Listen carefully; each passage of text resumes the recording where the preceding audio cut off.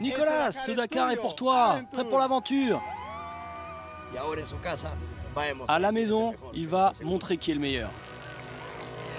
Voilà le héros de toute une nation. Sur son sol au Pérou, tous les yeux sont tournés vers Nicolas Fuchs.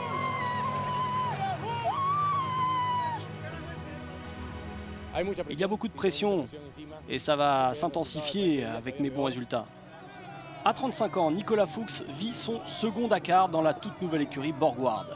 Et le soutien de tout un peuple entre Lima et Pisco est incommensurable.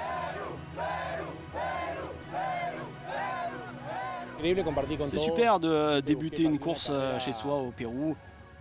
J'ai déjà euh, connu beaucoup de courses dans le championnat du monde de rallye raid, mais loin de chez moi.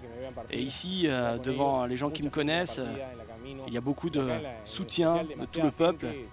C'est vraiment fou et très spécial. Il va y avoir beaucoup d'attentes désormais autour de lui après cette troisième place lors de la première étape. Pour moi, conduire à la maison, c'est pas forcément un avantage.